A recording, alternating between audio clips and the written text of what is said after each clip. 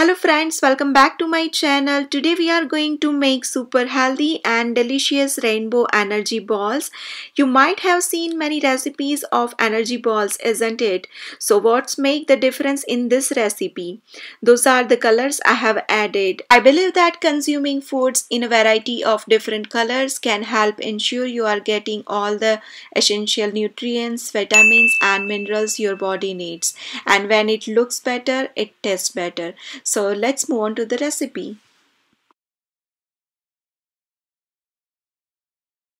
To make these energy balls, we will require a cup of cashews, walnuts, sunflower seeds, almonds and uh, dates.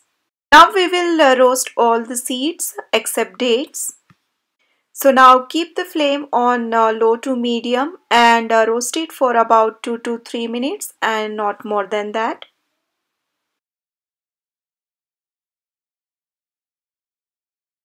Our seeds are roasted well, so we will take it out into different bowl and let it cool down. For the first variety of balls, I am using dates as a sweetener. So first cut all the dates into small chunks. I have used around 12 to 15 dates to make these balls. I'm going to transfer these dates into a mixie jar you can also use a food processor here and we will make fine paste out of it. Our dates paste is also ready now so keep this aside. Our nuts are also cooled down so we will grind our nuts now. We want coarse texture of our uh, nuts so don't grind it too much. Just give few pulses and uh, your mixture will be ready and a similar way grind all the nuts. Now our nuts powder is uh, ready and I'm going to make three kinds of energy balls today. So I'm dividing this mixture into three equal parts. For the first variety of energy ball, I'm using dates as a sweetener. So now transfer the dates paste into a bowl and now mix everything well together.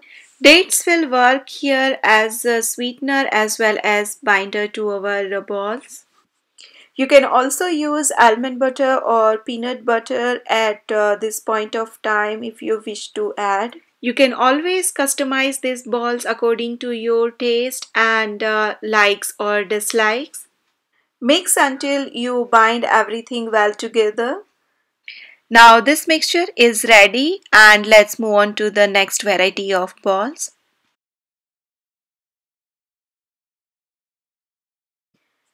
Now for the second variety, I'm going to use dried mangoes and apricots for the sweetness. So I'm going to chop mangoes into small chunks. I like the combination of uh, dried mangoes and apricot in my energy ball. Uh, if you wish, you can either use mangoes or apricot as per uh, your taste. Now I'm going to transfer this into a grinder and uh, I'll make a smooth paste out of it. Now our paste is ready so mix that with dry fruit powder. Keep this aside and let's move on to the third variety of balls.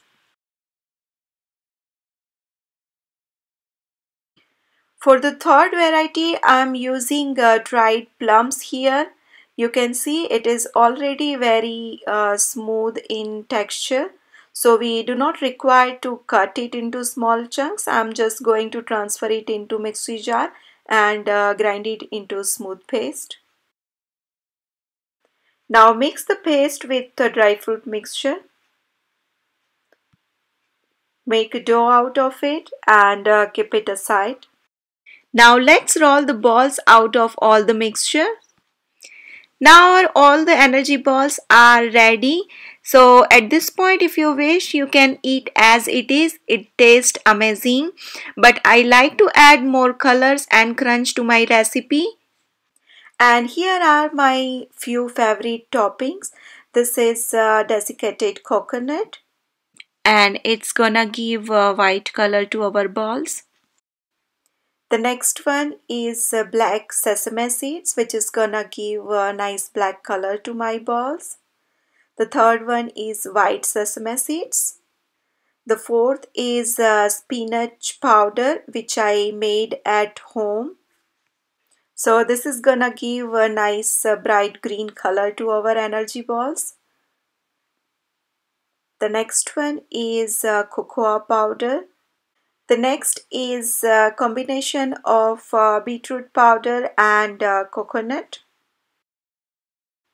And this is just beetroot powder. This beetroot powder also I prepared at home.